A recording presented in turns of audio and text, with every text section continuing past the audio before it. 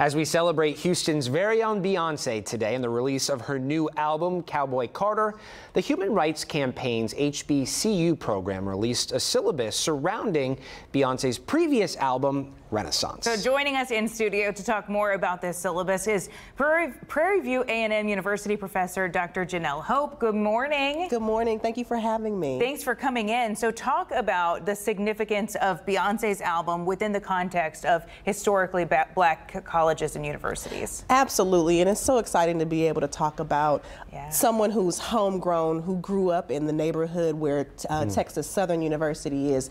So throughout this album, as well as Lemonade, we see see major themes where Beyonce is certainly calling back to the rich history of historically black colleges and universities oh, really? via the, the, the, the, band, but also thinking about some of the local histories.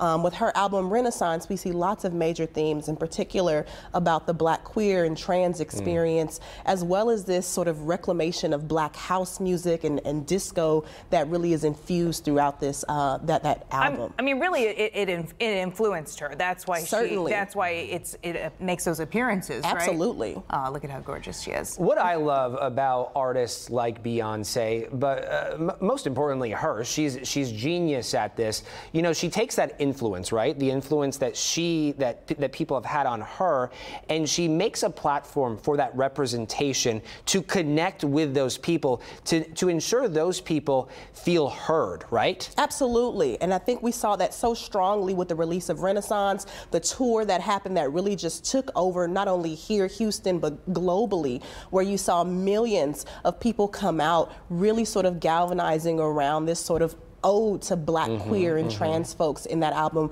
Her sort of um, discussion of her uncle Johnny, right, being this mm person who uh, passed away due to the HIV/AIDS uh, complications, is really shining a light on some of those experiences of black, queer, and trans folks. And so I'm really excited to be here with you all today to talk about the Human Rights co- uh, Campaign and the syllabus that they're putting out to really provide an academic supplement yes. Uh, to the album. So tell us how you plan to incorporate the syllabus into what you teach at Prairie View a&M. Yes, so this is so exciting. I actually did this in 2018 when Lemonade came out. Uh-huh. There was a Lemonade syllabus that was crowdsourced. And so I'm really looking forward to incorporating some of the HRC's um, syllabus into my existing race, class, and gender in America course.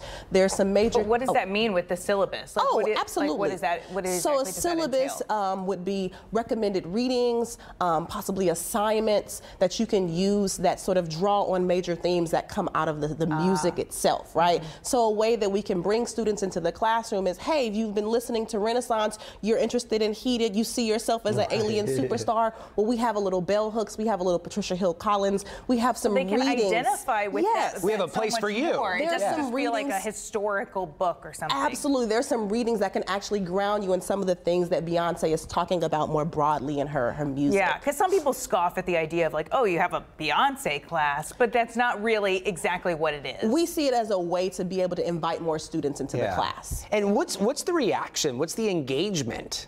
Oh, the students are absolutely interested because this yeah. is this is essentially a way for us to be able to meet them right. where they're at. This yeah. is a, a major pop superstar. This is someone who's made major strides within black music in particular. And then for me, I also think about place-based learning. I teach at a absolutely. school that's pretty much just right outside of Houston. She's talking about things that's also specific to their own upbringing and their own community. Do you see higher grades? Yes. yes. Well, I yeah. see certainly more engagement. Right, yeah. The students are more willing then to do the reading and, and the homework and the follow up, yeah. right? When it's connected to something that's related to popular culture. Yeah. What about when, so Beyonce, uh, what can you say about her bringing empowerment and um, and inclusion and representation to the students. Absolutely. So much of this Renaissance album had been about um, self-affirmation, self-love. I think a lot of the kids got latched onto the I'm alien superstar, yeah. right? And, and embracing this sort of difference. The difference of being queer, the difference of being trans, the difference of being, you know, someone who might be neurodivergent. And I think they see themselves very much so in the lyrics and the inclusivity that it yeah. provides. And a lot of the imagery itself as well. Have you had the so it's a way opportunity? to- Yeah, go ahead. It- it's a way to bring those themes that we're seeing in society into Oh, a certainly. university setting. Absolutely. Yeah. Yeah, it is really fascinating. Have you had an opportunity to listen to the album this morning? Yes. So on the way, oh, you I did Yes. I was driving down to 290 and I listened It's to so Cowboy early. Carter. At- it dropped at midnight, so you got to make time. I will say my favorite. I really love how she reworked Jolene. Yeah. Um, that has been really That's the good. one I can't wait to hear. Oh, it- Yes. it's awesome. And Dolly P's message, Dolly yes. Parton's message is I called heard Dolly you talk P. about that hussy. Yes, yes. I had a hussy back then, I Jolene. love it. I that love it. callback was Oh, that's wonderful. Oh, you've got to listen to it. You've when you were on the air at seven, I was listening to Oh, it. that's Uh. Protector's really good. Just It for is. fun is excellent. There, there, there- Blackbird yeah, there are several Tanner. good ones. There were what, 27 songs? I only got through Yes. like maybe 10 of them. Thus maybe. far, it, I'm not finished yet, but it's Yeah. it's sounding like a really good album. I'm really enjoying it. Really good stuff. I love it. Dr. Hope, thank you so much for your time Thank this you morning. for having me. Yeah.